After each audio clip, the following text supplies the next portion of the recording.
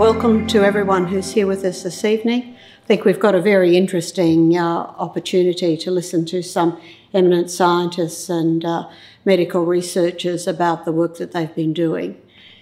It's very interesting, isn't it, that um, 15, 16 months ago, we thought perhaps that this virus might come and go, as many others do, or become a, a lesser quality virus in the community. But that's not been the case. We're in an environment now where potentially uh, we may see further changes to the virus. Um, how do we deal with that? What is our research telling us about what we've already done and how we can change and modify that? So um, I'm very pleased to be able to have the opportunity to introduce to you our um, speakers uh, who I will then ask to join us on the um, chairs, and we'll ask some questions of them, and then we'll have some questions for the audience uh, after that. So, can I first introduce to you Professor, Associate Professor Paul Bartley, He's the Director of Infectious Diseases at the Wesley Hospital, and an Associate Professor at the University of Queensland. Paul's specialist interests are infectious immunocompromised hosts, hospital acquired infections, and molecular microbiology. Uh, Professor John Fraser is with us tonight as the Director of Intensive Care at St Andrews Hospital, founded the Critical Care Research Group, which I understand is now the largest acute care multidisciplinary group in Australia. I did ask uh, John what he did in his spare time, and he mentioned to me that between two and five, he was trying to get some sleep in the morning. But other than that, he's been pretty busy. Amongst his many, many credentials, Professor Fraser has recently assumed the presidency of the Asia Pacific Extracorporeal Life Support Organisation and is co chair of the Queensland Cardiovascular Research Network. Associate Professor Li Bassi is an intensive care specialist and researcher working at St Andrews War Memorial Hospital, the Wesley Hospital, and the Critical Care Research Group. He's an active member of the Critical Care section of the American Thoracic Society and the American Society of Critical Care Medicine. His research currently focuses on the management of COVID 19 patients in the intensive care unit. Professor Bala Venkatesh is the Director of Intensive Care at the Wesley Hospital, is preeminent specialist in intensive care medicine at the Princess Alexandra Hospital, Brisbane, Professor of Intensive Care Medicine at the University of Queensland and the University of New South Wales, and Professor Fellow at the George Institute of Global Health in Sydney, Australia. So um, Professor Venkatesh doesn't get too much sleep either. He's a, an extensive experience in running global research studies, and it will be wonderful to hear him talk about some of that. And he's run the largest study of steroids in septic shock to date. Professor Anand Gautam is uh, the Executive Director, as Charlie mentioned, and Emerging Science Lead across uh, Australia, New Zealand, and Southeast Asia for Pfizer, and is an adjunct professor at the Institute of Molecular Biosciences, the University of Queensland. Dr. Gautam has an immunology background, and prior to his role uh, Pfizer, he was a senior executive roles at Novo Nordisk in Denmark and at Progen and Pharma, Pharma Mexica in Australia. And, and our final speaker for tonight will be Dr. Zephanie Tyack. And um, Dr. Tyack is a senior research fellow at QUT, Australian Centre for Health Services Innovation who has worked with Professor Steven McPhail and Dr. Bridget Abell on health services research and implement, uh, implementation science initiatives. Most recently, she and other members from that research group supported Wesley Medical Research Project, which aimed to improve the mental health of people living with, uh, within rural and remote regions. And Dr. Tyack's research focus includes working with families, and health professionals to design health interventions that support clinical decision making, communication, and quality of life. So I'm sure you'll uh, all ha- have the impression that we have a very eminent group of people for us to uh, uh, listen to tonight. Can I uh, ask my first question to Professor Bartley? Um, Professor, I'd like you to talk a little bit, if you could, about in, uh, as an infectious disease specialist, can you provide us with your insights into the management of COVID 19 globally and in Australia? I think it's fairly clear that this is a global pandemic of historic proportions that's causing immense social disruption on a global scale um, to rival that of 1918 influenza pandemic. Um, it's interesting that in the first paragraph of my textbook on coronaviruses um, that was printed well before this pandemic, uh, it talks about recurrent cycles of respiratory infection every two to three years. Um, and so I think that there doesn't give anyone any cause for hope that this is going to be done anytime soon, uh, particularly without a vaccine. I think we've seen many examples where appropriately timed, well targeted public health interventions have been immensely successful. Um, and I think we've seen areas where there's been decay in quality of public health services um, fail, uh, and in areas where public health infrastructure is yet to become rigidly um, implemented, uh, yet to work. I think we, it's in a very exciting time, particularly if you're in a society that has good access to reliable vaccines, and we've seen several deployed in many places around the world. So, in those areas, it's a good time to be alive. Uh, so, um, plus, I think in the long term, we're going to learn a lot more about acute inflammation and the basic biology of it. Uh, so, um, there's swings and roundabouts and a lot of learnings from this. Um, I think Australia, particularly, has been successful with pub many public health interventions, particularly lockdowns. The um, societies in 1918 that could introduce shutdowns and enforce them weren't able to maintain them for any longer than six weeks. Uh, and many places in Australia have been able to do it either repeatedly for longer than that in aggregate, or an example in Victoria for uh, 200 days or however many months that was. Uh, and obviously, those things are wearing off, and we're starting to see consequences of that.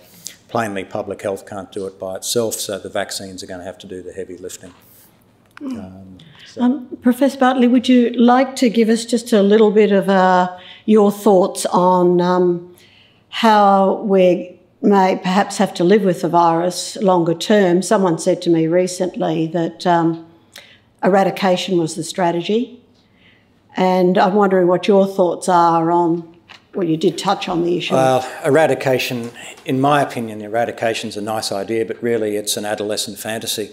Um, I think there's been a, a, nice example in New Zealand where they were able to eliminate transmission on the mainland and one plane load from, well, anywhere in Australia, but probably Sydney, um, um, has um, blown that apart and that's all it would take here. So even if it were eliminatable on mainland Australia or any other country, all you need is one plane load or a ship or uh, an illegal border crossing of whatever sort, um, and that uh, will unravel that. So I don't think that's going to be a meaningful endpoint. Um, the quarantine fatigue and the shutdown fatigue, or whatever you want to call it, is uh, starting to cause real harm to many people.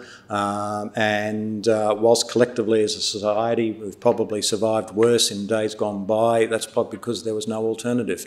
Uh, and here we have some valid alternatives that will allow us to live with it. I mean, the basic maxim in infectious diseases is adapt or die.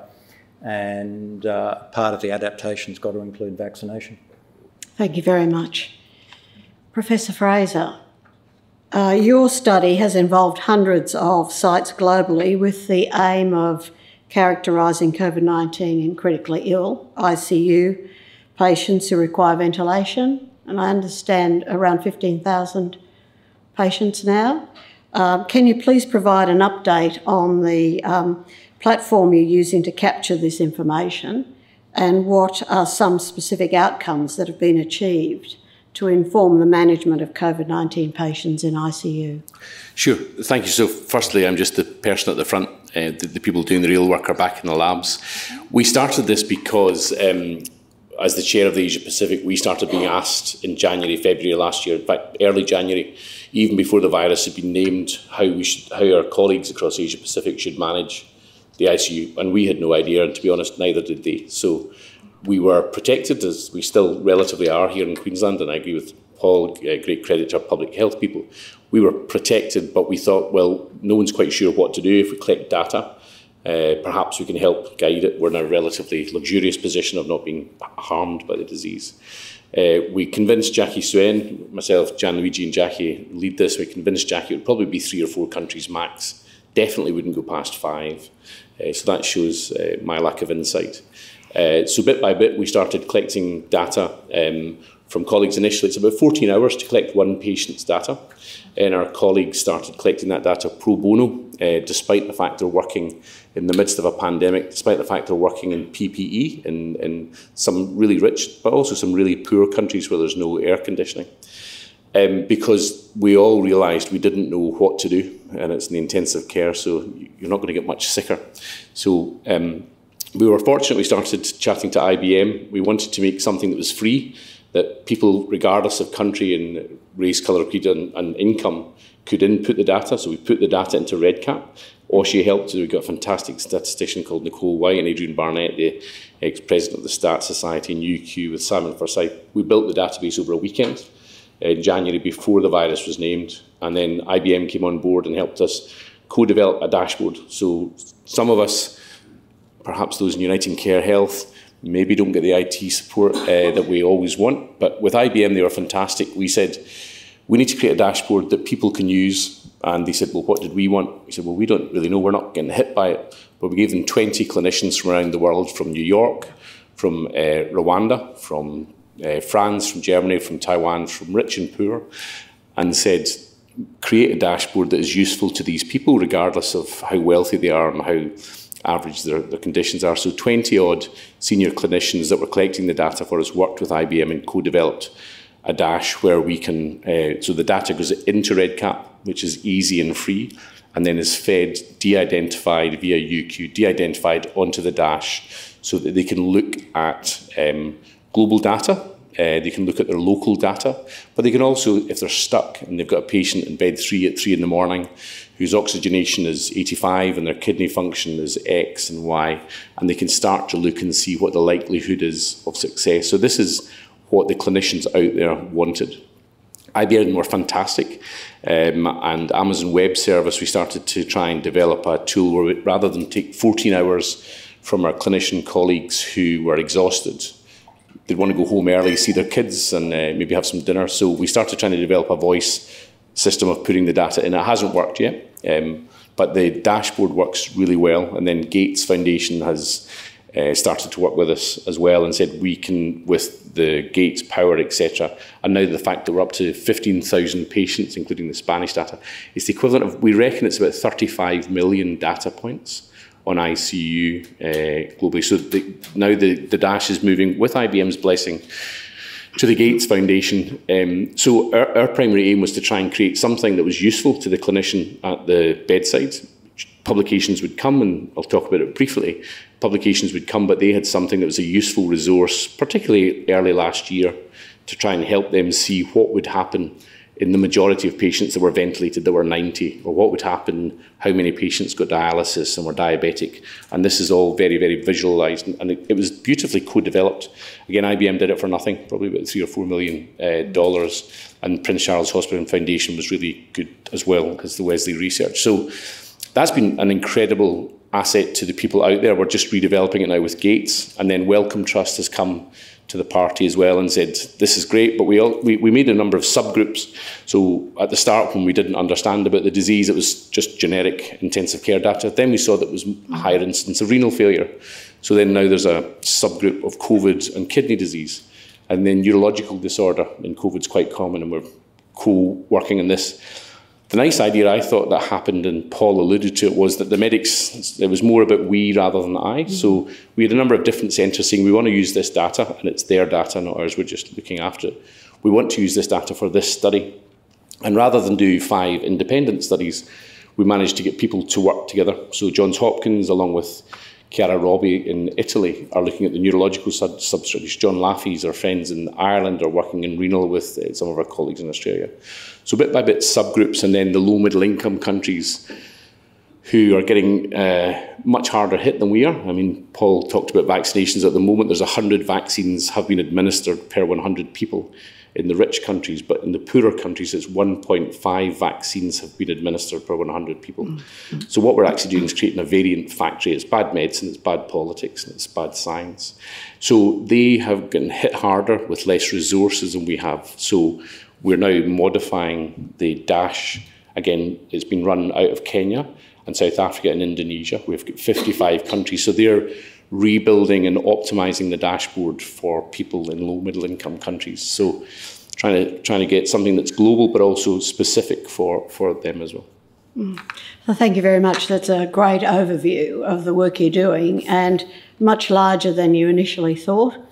But all, we wouldn't do it again. It's way too hard. Just as well, then you didn't realise that until you got further into the study, because that's an excellent opportunity with a multidisciplinary team, mm. and as you say, doctors working together. Mm. So thank you very much, um, Professor Li Bassi. Uh, you're now almost two years since COVID, um, COVID pandemic emerged, and the concept of long COVID has surfaced what are we seeing in terms of general health and quality of life for people who have been discharged from the ICU with long COVID? Thank you very much. Thank you very much for the interesting question. And uh, uh, well, let me start just uh, acknowledging the, the, the, organizer of this uh, night uh, because it's a, it's, a, it's a privilege to be here and particularly among this uh, brilliant clinician and such a level of expertise. So, uh, in order to understand long COVID, uh, in terms of the definition of COVID, uh, if uh, uh, you are being discharged from the ICU and uh, you have still symptoms after approximately four weeks uh, from COVID, from the initial symptom that you had at home, uh, very likely you are developing long COVID. If uh, the symptoms are beyond the 12 weeks, you are developing the long COVID syndrome, which is something that uh, we know very little about. And uh, that was uh, the main purpose of a study that we are running, so called AFTERCORE so, uh, for what we know at this stage, uh, uh, approximately between 5 and 10 percent of the patients uh, who are hospitalized for COVID, they will develop uh, some persistent symptoms and uh, the recovery of their organs will not be absolutely proficient. And if uh, uh, unfortunately you have a, severe COVID and you're going to do the intensive care unit, that incidence increase uh, up to 30 40%. We have an interesting uh, uh, early report from the Alfred Hospital that they've shown that 30% of their population from the ICU they still have symptoms at three months after COVID. So, uh, in this context, uh, uh, if we look at, for instance, the United Kingdom, uh, as we speak, uh, they, they, there are uh, already 100 clinics supported by the NHS in the UK in order to manage such a burden that we'll face uh, in the upcoming years. Because uh, with uh, a global uh, pandemic, we will have uh, several patients who will have long COVID in the upcoming years. In this context, uh, John and I and other uh, brilliant uh, investigators, Dr. Wildy from St Andrews and Dr. Suen that uh, John mentioned from University of Queensland, uh, develop a, a, protocol that is called AFTERCORE that will follow up patient after the ICU discharge up to two years in order to understand what are the symptoms, what is the recovery of the organ dysfunction, and uh, what will happen to this patient after they walk outside the uh, ICU. And uh, well, we, we had tremendous support from uh, uh, Wesley Medical Research, from uh, uh, the Prince Charles Foundation, University of Queensland, and we wouldn't be here without their support.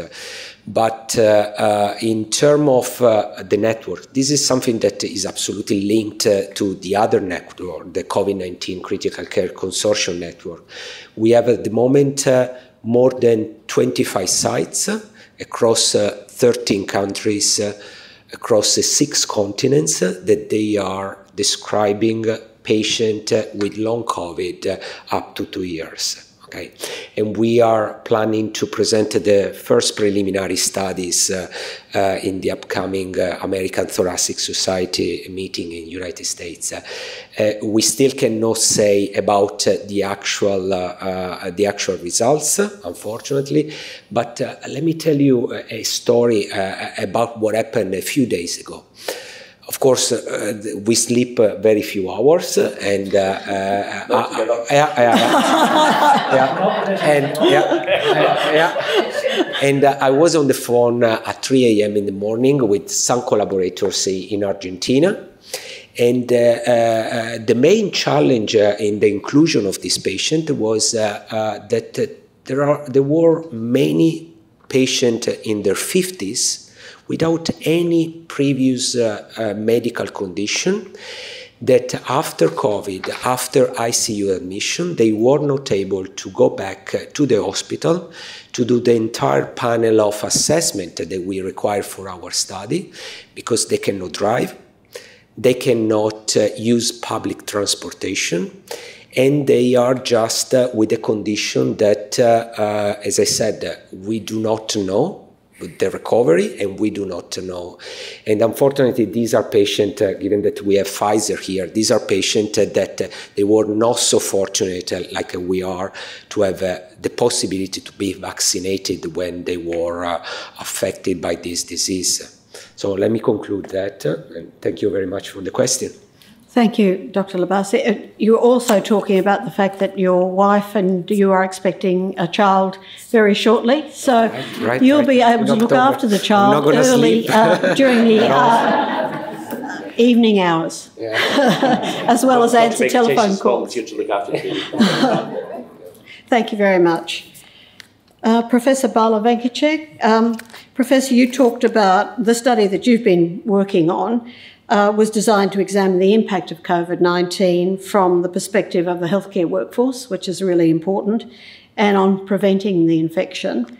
Um, noting that this work commenced before the vaccine was produced, can you give us an update on your research and tell us about the impact of COVID 19 in India, where uh, it was one of your major sites?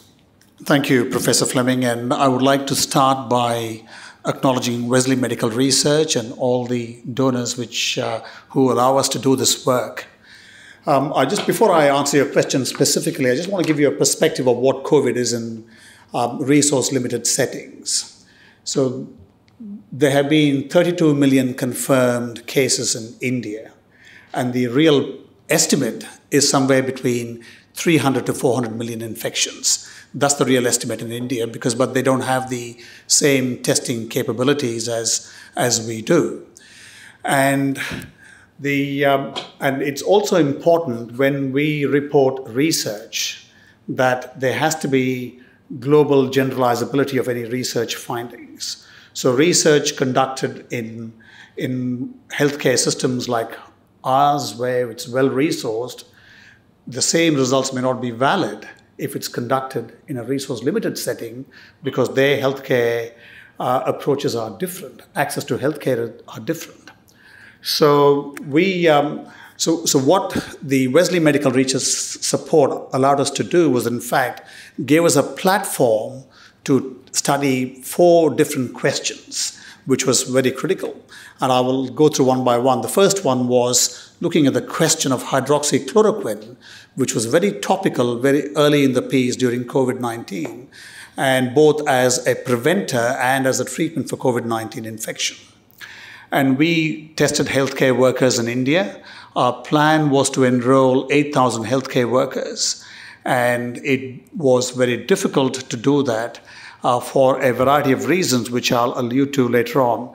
Uh, but we ended up having to stop the trial after 450 healthcare workers were enrolled. Um, and interestingly, just to put things into perspective, at the same time as Wesley Medical Research supported our work, there were two other international trials of hydroxychloroquine, one by federal, federal government funded from here with a budget of $3 million in Melbourne, and a University of Oxford trial, uh, which was also well funded.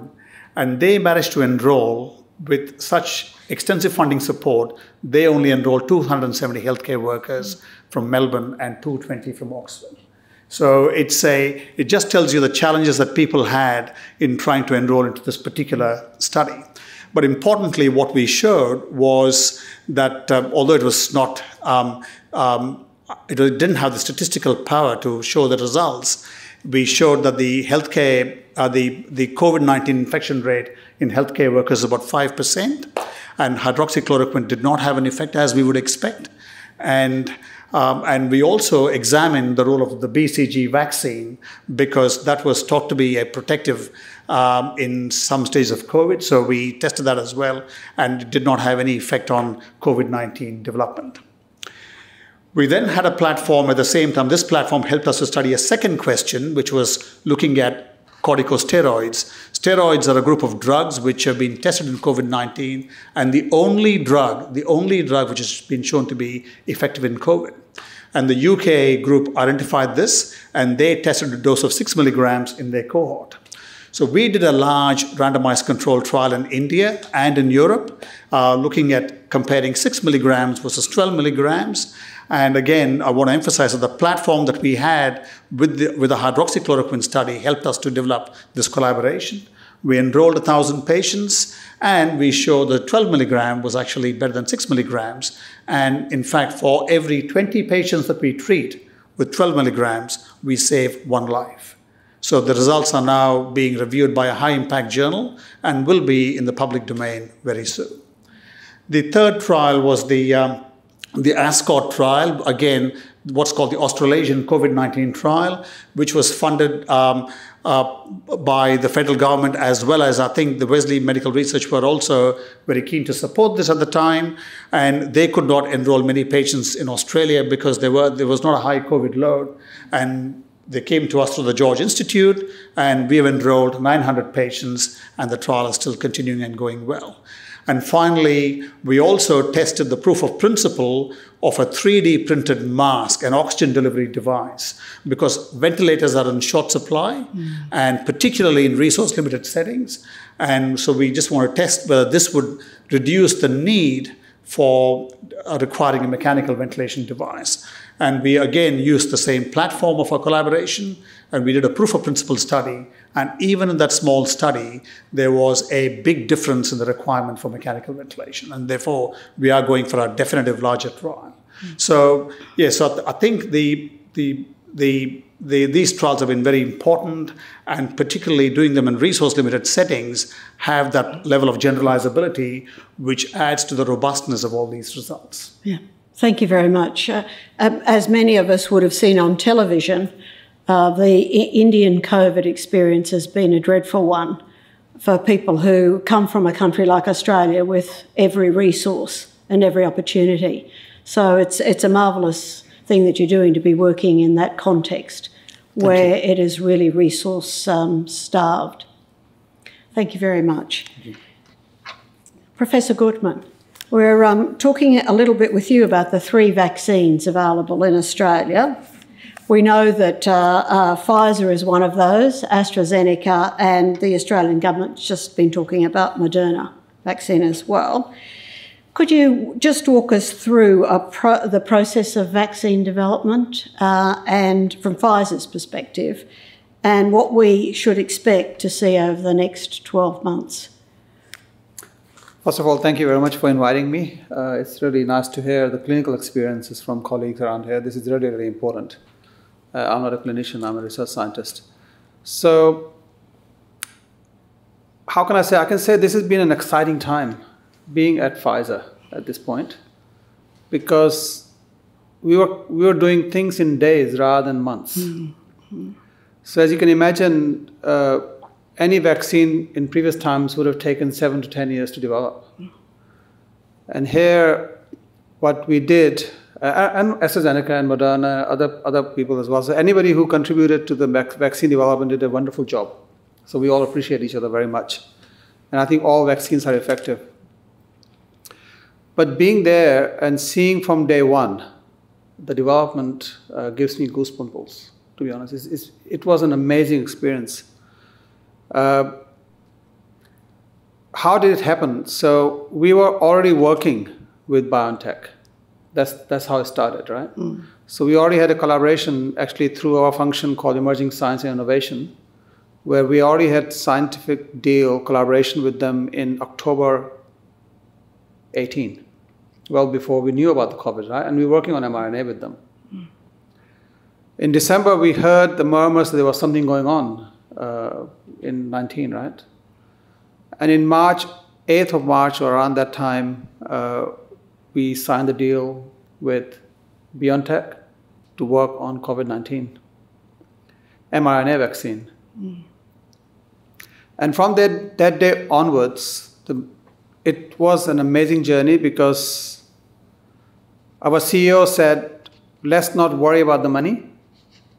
And we were not tied up to any government. We were free to do what we wanted to do. And our CEO was so motivating. Our R&D leadership was extremely motivating. Uh, within two months, we had the lead candidate. Less than two months, we had lead candidate that we wanted to try it out.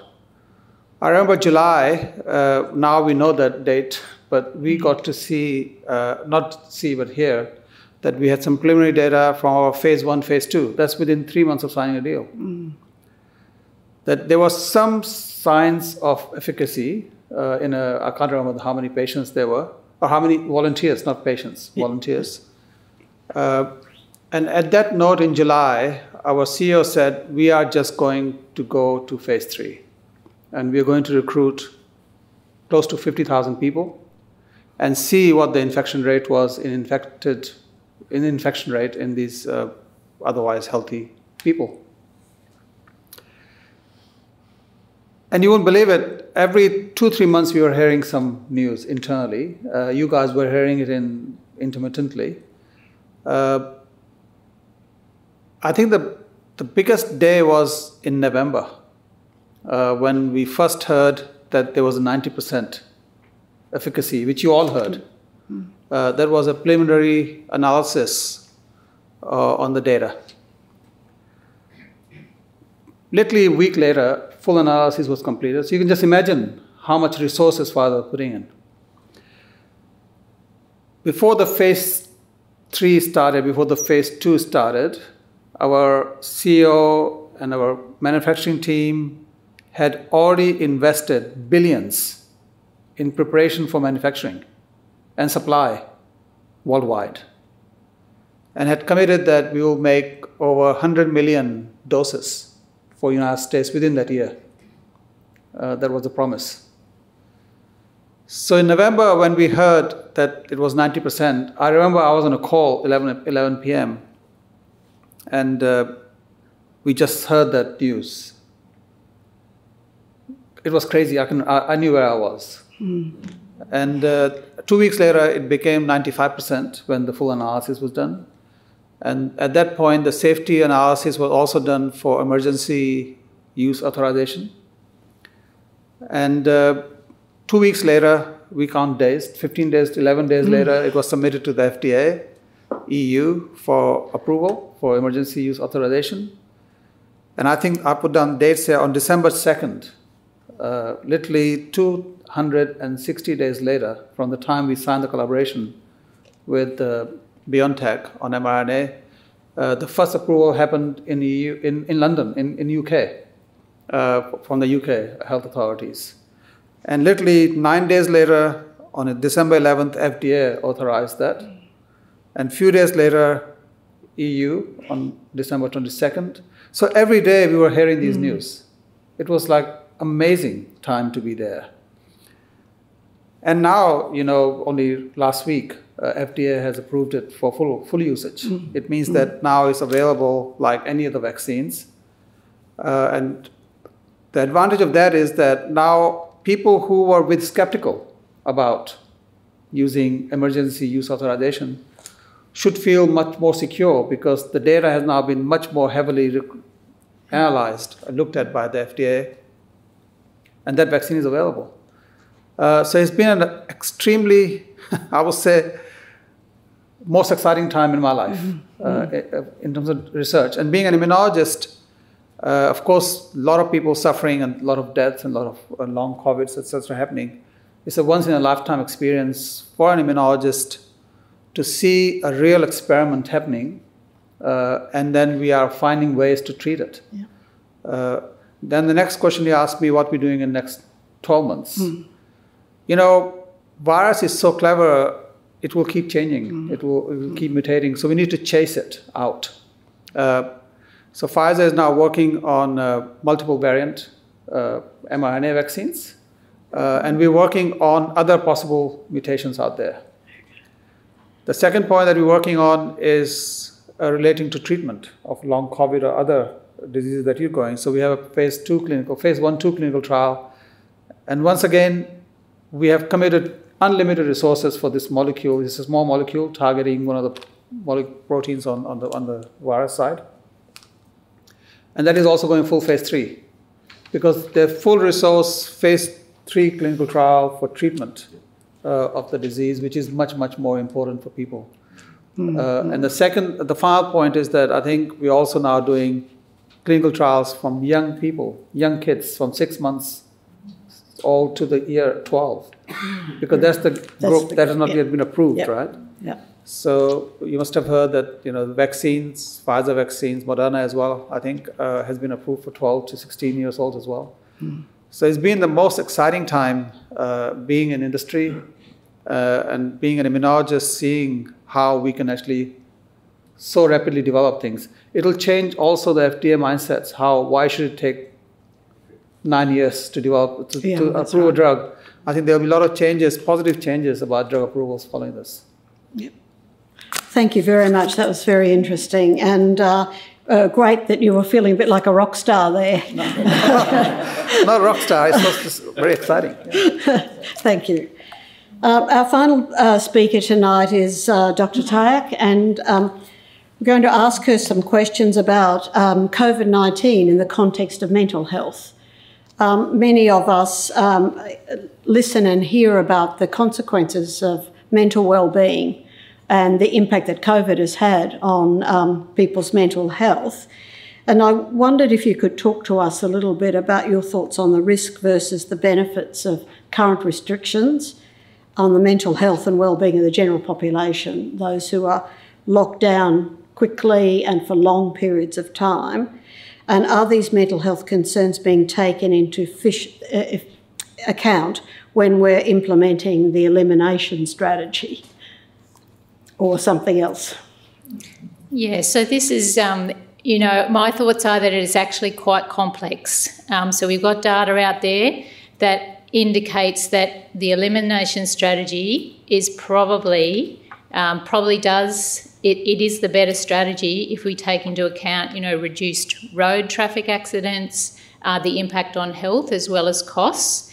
However, there's also information out there that indicates that we do have, we've got vulnerable populations and we've got uh, very specific groups who are much more vulnerable than others. And I think we, we don't know enough about that yet. A lot of our the information that's out there, to my knowledge, is based on early COVID data as well. So we don't know what's happened since then. We don't understand everything um, since Delta has come along. Um, and we know that people out there, there are mental health issues. So some of the international work that's um, come about, um, I think there's eight, eight countries that we have very good data on, but it's from early COVID data. And that shows that, yes, there has been an impact on things like anxiety, depression, post traumatic stress disorder. And then we've got some good Australian data, um, but it's in very select areas. So we know that there's increased um, medication use. Um, uh, for mental health issues, and we also know access to mental health services has really changed. So compared to like 2019, there's been like a 10 to 30% increase in services. And I don't know if any of you, so just in the news recently, we've heard about Lifeline. So Lifeline, it's an organisation that's been going for 57 years or so. But in August, there's been four days that they've had the highest numbers ever of access. So they, these sorts of things tell us that something is changing um, in relation to people's well-being and their need to seek support. And I guess based on that sort of information um, and work, we've partnered with um, Wesley Medical Research to uh, have had a unique opportunity to look at rural and uh, regional mental health during COVID. So, and that's one of the vulnerable groups, and we know that access to services or things aren't quite the same in those areas of Australia. And that's one of the vulnerable populations we know are affected um, by COVID and the restrictions that come about.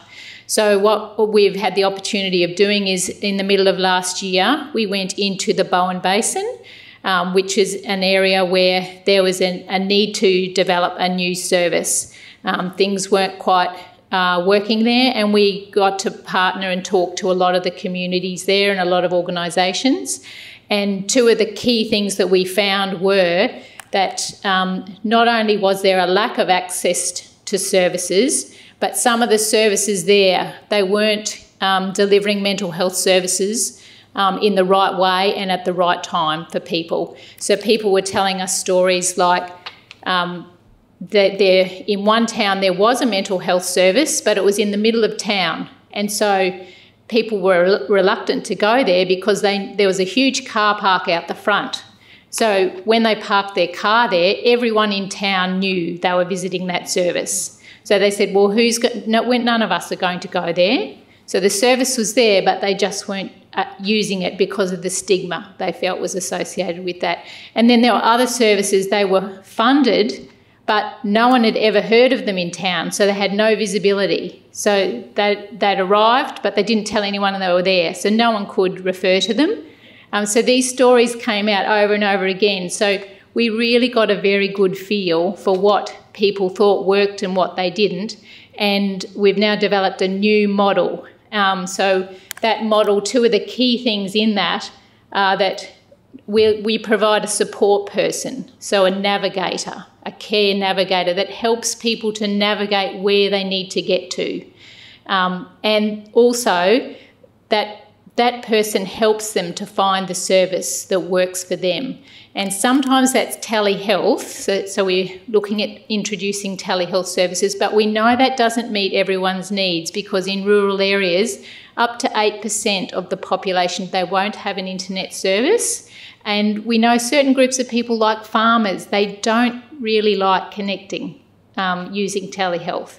So it's part of the solution. So we've tailored a new service um, to meet the needs using different um, things that sort of a package of services that weren't all brought together in the past. And we're at we just um, the first Care Navigator has just started this week in Moranbah, so we're really excited that that started, and we're really hoping that we'll be able to roll this out into other towns in that area. And we think it really does have the potential to be scaled up much broader because a lot of the issue the issues we were hearing about they're not just in rural and re- regional areas. We hear about them in metropolitan areas as well. So we think there's a lot of potential with this sort of model. So we're just looking at funding to be able to roll it out in different areas and scale it up.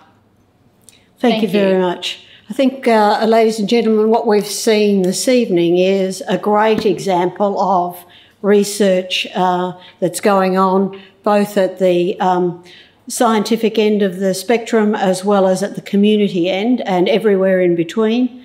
And what's also wonderful is the opportunity that some of that research can be then put into practice. We're learning from that research. It gives us evidence to make changes and developments that uh, influence the quality of the work we do.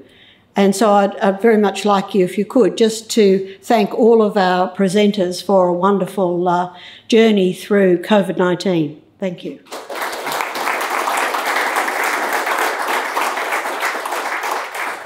I am going to ask if any of our audience would like to ask any questions. Yes, please. Question for Dr. We've had a, a wild ride through this.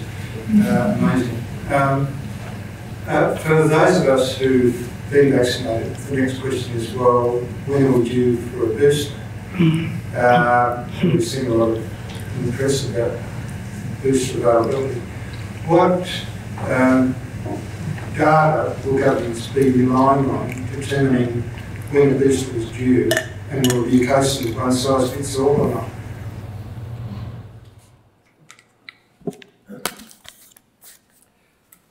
So uh, clearly we're, we're, testing that uh, at Pfizer, third booster. I think uh, now I have to be a little bit more careful because I cannot remember whether it was publicly disclosed or not disclosed. But uh, what I can say is that the third booster is being tested in people, and also we're looking at the general population data as well. Uh, it looks like it that the antibody response wanes, start to go down from a six to eight month time frame. Uh, it doesn't mean that you don't have antibodies, that you will not make response when the virus comes back to you, uh, because immunological memory is very, very you know, sharp. It will, it will wake up within a day or short time. So, yes, I think a six to eight month time period is a, uh, a third booster. Uh, and I think you will soon hear uh, some more things uh, that are being discussed with the FDA. Uh, but data is coming rapid and fast, like the original vaccine uh, data. So I think we, are, we feel very confident that there will be a third or you know booster. Uh, uh, I think we all got lucky that uh, we have a, a, mRNA technology that was so untested before, and now we have such a, an immense possibilities for uh, protecting ourselves.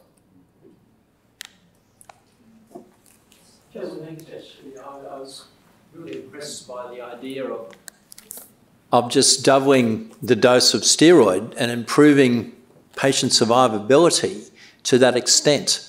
Um, and steroids are cheap in, in comparison to virtually every other medication given in intensive care, I believe, apart from water perhaps. Um, so you've gone to 12. Is more better? Can you go higher? It's a, a terrific question because the um, so so what um, uh, COVID nineteen does it causes lung inflammation and leads to a condition called ARDS, acute respiratory distress syndrome. So interestingly, before COVID happened, uh, the the group from France had done some work and had shown that in people with non COVID 19 ARDS, a dose of 20 milligrams of dexamethasone was in fact superior to a lower dose. So, after, when the 6 milligram dose came out, and then when we tested all our clinicians uh, about whether we should go for this, compare 6 versus 20, the concern was because of reports about black fungus which circulated in the media, which is the all the fungal infections which can happen in patients with uh, who are on steroids and have got COVID. They were reluctant to go to this 20 milligram dose. They said, let's go for the 12. So we compared the 6 versus 12, and 12 was clearly superior to the 6. But and but interestingly, the black fungus infection rates were very similar between the two groups, 6 and the 12. So it had equivalent, uh, it was certainly more efficacious, but with a similar side effect profile. So that might be the next trial.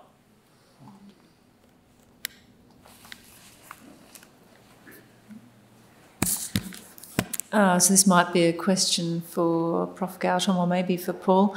Uh, what does this process of developing an mRNA vaccine mean for other mRNA viruses, and what might we hope for as the uh, other bonus points for this kind of activity?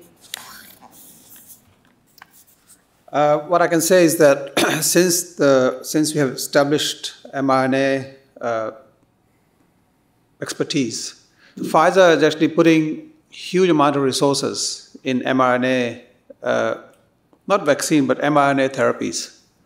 Uh, because you can imagine that uh, cancer antigens that are difficult to treat, uh, difficult to develop vaccines against.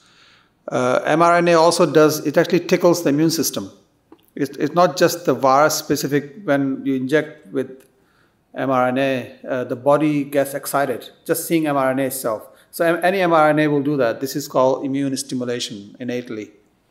And then it transfers the COVID-19 and it, that just boosts it beyond uh, to different level. Same thing could happen with you know combination of cancer uh, proteins that are associated with disease. So we're looking at those possibilities, how mRNA uh, coding for those proteins could be used as vaccines. That's one thing. The other thing we're looking at, many genetic diseases have one or two proteins missing. Uh, and of course, gene therapy is something that we all look at, uh, where you give gene therapy and you forget for five years and everything is fine. But sometimes that also is associated with side effects, continuously expressing that protein. So one can imagine that in short term boosts for certain diseases, I, I, don't want to name them because I don't want to be quoted, uh, but you can imagine that you just want to express that protein for a very short time, like maybe two weeks or three weeks or four weeks, and that's what mRNA does. So when you get injected with COVID 19 vaccine, you have expression in the system for a few days or few weeks at the most. It means that you can express that protein that is missing. And then, of course, genetic diseases. We're looking at autoimmune diseases. Uh, it's, like, you know, Pfizer is hire, hiring huge number of people. This is publicly known. Uh, we're investing a huge amount of uh, resources for mRNA therapies. It doesn't have to be vaccine. It could be something else. It could be modulating mRNA itself. So it's huge potential. If I can add to that, um, I'm not in receipt of any money from any drug companies, but I'm susceptible to offers. Um, there was a nice review in Nature from February on your opposition with Moderna. Uh, we're supporting each other. Or supporting each other, sorry. Um, and uh, going into their history with RNA vaccines and I think for the nucleic acid vaccines in general, it's like the story of McDonald's. It was an overnight success that was actually 25 years in the making. Uh, and Moderna, I think at that stage, had vaccines, RNA vaccines with a similar or same technology as their um, Comirnaty, sorry, not Comirnaty, um, their, their COVID vaccine, that's yours.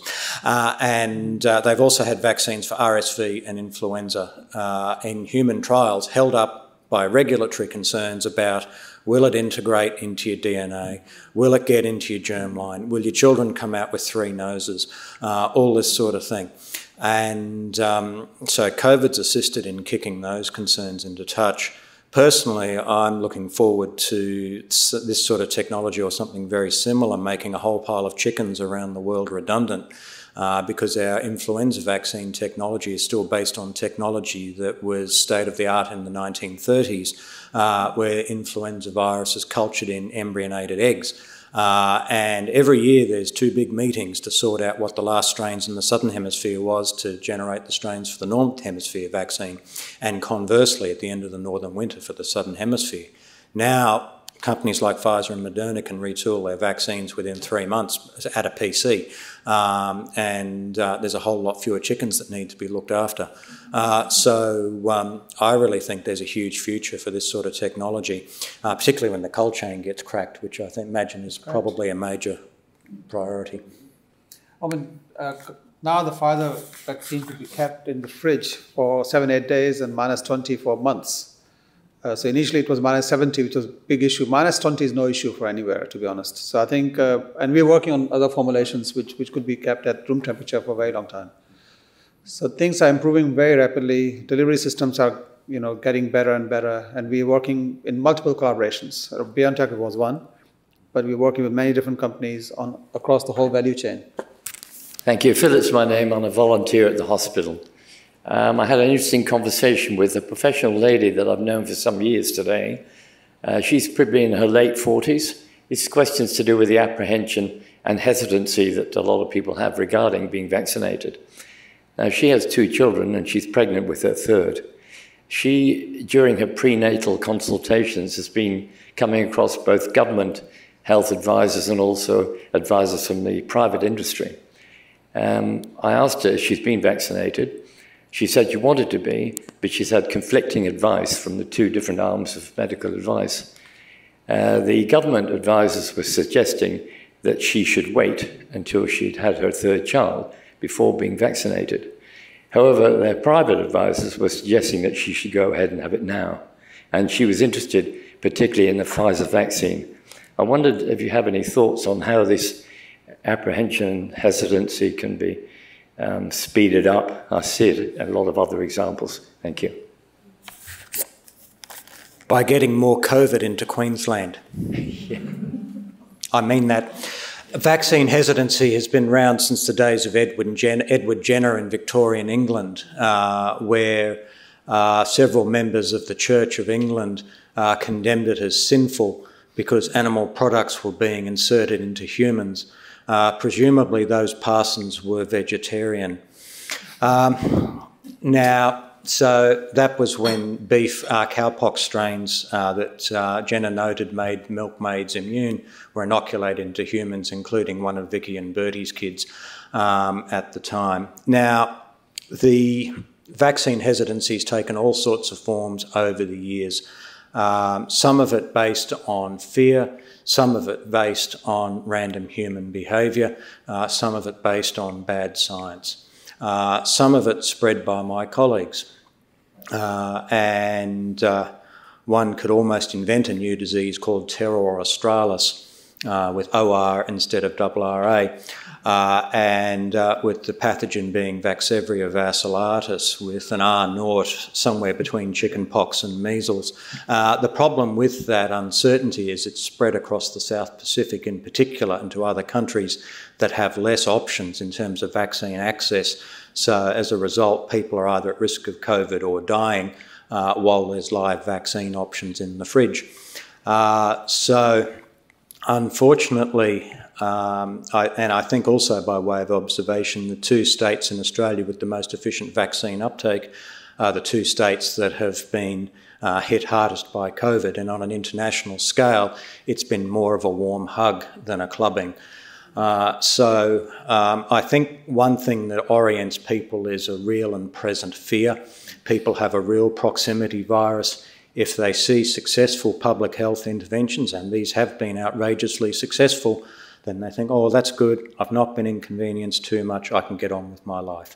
In terms of the obstetric setting, uh, all of us have been hesitant about vaccination or indeed any medications in pregnant women, and there's been a long history of uh, therapeutic hesitancy in the setting of pregnancy with respect to therapeutic trials and new medicines. Um, and that's not just vaccines. So the initial advice from the College of Obstetricians in consultation with the CMO was up to the individual woman's uh, belief and conscience and in terms of her other health parameters. Uh, there are many women who are pregnant who have type 2 diabetes. There are many women who are pregnant who are obese. That represents a significant constellation of problems in the Pacific Islands and for large parts of Australia. So there is a role for vaccination there, and it's pleasing to see the trials, particularly for Pfizer, demonstrating safety and efficacy in the setting of pregnancy. So I think that data just needs, needs to be patiently explained and reiterated.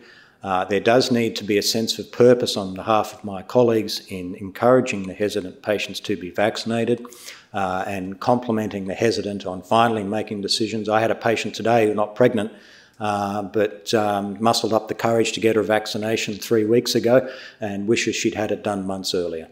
Uh, so, um, you know, I think we've just got to be persistent and resolved that this is the way to go. Uh, I told her I was coming to the function tonight. What should I tell her when I speak to her? Get vaccinated. I think the other thing is just the Royal College. So Paul's right. The guidelines were the guidelines were up and down, but the Royal College of Obstetrics um, has now said everyone, yep. every phase, and the Australian guidelines have now changed. So everyone at every phase. So you can look at the guidelines from the expert bodies that have all said everyone that's pregnant, the risk of COVID when you're pregnant is so much higher than the risk of vaccination. And they are on the web, both available to you in the Australian guidelines. Thank you. Well, ladies and gentlemen, can I again just ask you to uh, thank our panel? It's an excellent uh, presentation.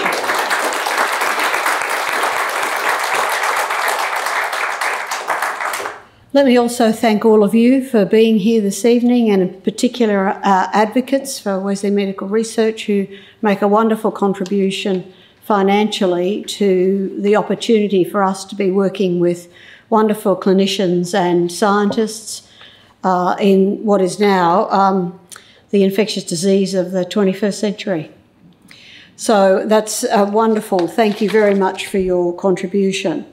Uh, we also um, want to thank you for the opportunity that we have in terms of a broader range of um, life changing research and treatment options for patients where they need it most.